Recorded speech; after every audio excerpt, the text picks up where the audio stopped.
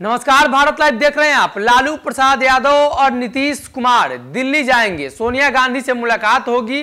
इस मुलाकात में सब कुछ साफ़ होगा कि देश के प्रधानमंत्री को लेकर जो इतनी ज़्यादा चर्चा हो रही है तो आखिर विपक्षी खेमा का उम्मीदवार कौन होगा? लेकिन उसके पहले ही राष्ट्रीय जनता दल ने नीतीश को पीएम घोषित कर दिया है। दरअसल राजद के प्रदेश अध्यक्ष जगदानंद सिंह का बयान निकलकर सामने आया है। जगदानंद सिंह ने नीतीश कुमार को प्रधानमंत्री बता दिया है और कहा है कि लालू जी जिसको चाहते हैं उसको प्रधानमंत्री बना देते हैं। तो इस बार बारी बिहार के मुख्यमंत्री नीतीश कुमार की है। तो अब नीतीश कुमार को प्रधानमंत्री बना देंगे। वहीं अब बात की जाए दिल्ली लालू से मुलाकात के बाद नीतीश कुमार गए थे। एक दर्जन नेताओं से उनकी मुलाकात हुई थी। इस, इस मुलाकात में काफ़ी हद तक नीतीश कुमार के लिए राहत भरी खबर मिली।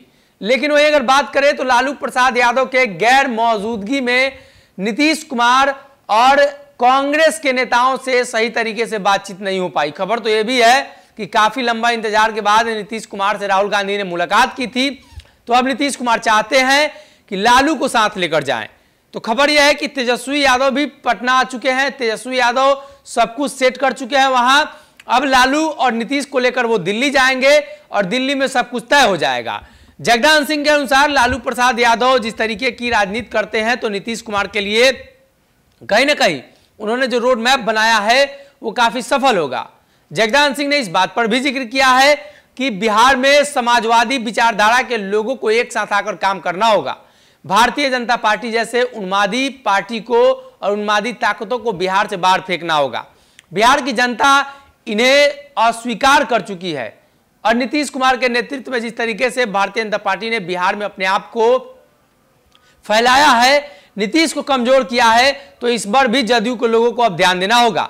जगदान सिंह यही नहीं रुके। उन्होंने नीतीश कुमार को और प्रधानमंत्री मोदी वाले सामाजिक न्याय और समाजवादी नेता बताए जाने को लेकर भी ज़िक्र किया है कि नीतीश जी समाजवादी नेता हैं, लेकिन लालू प्रसाद यादव भी समाजवादी नेता हैं।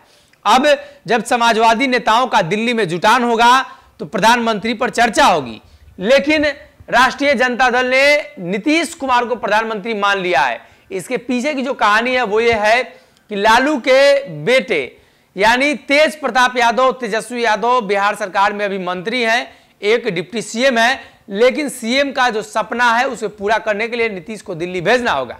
तो ऐसे में लालू यादव, नीतीश को लेकर दिल्ली जा रहे हैं और सोनिया गांधी से मुलाकात की बातचीत है और तारीख भी तय हो चुकी है, लेकिन अभी ऐलान नहीं किया गया है।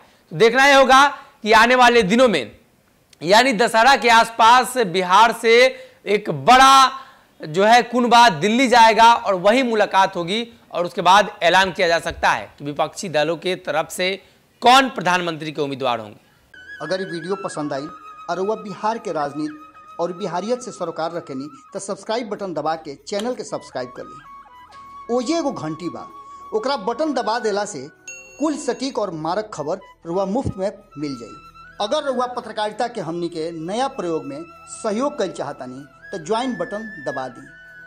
पेटीएम नंबर नोट कर ली nine three eight six eight one six seven double zero. धन्यवाद।